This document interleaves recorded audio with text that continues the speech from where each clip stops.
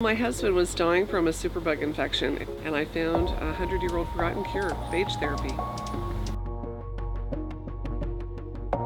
Phages are little viruses that have naturally evolved to attack bacteria. They're very specific. They only kill the bacteria that they match to. They attach through a receptor and they drill into the bacterial cell and they take it over and turn it into a phage manufacturing plant.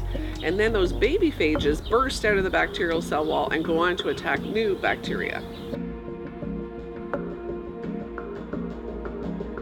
They can be personalized to attack bacteria. They can be an adjunct to antibiotics. They can even resurrect failing antibiotics that weren't working anymore, or they could be replacing antibiotics in some cases. We're running out of solutions. Antibiotics aren't working like they used to be because of multi-drug resistance.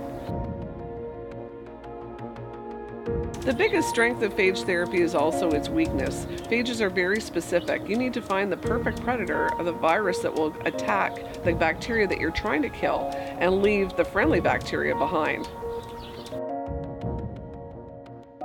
Phage therapy has been used for decades, but there's been very few systematic studies, especially clinical trials, that have evaluated it on a grander scale than just a few cases. So that's what we need to do next.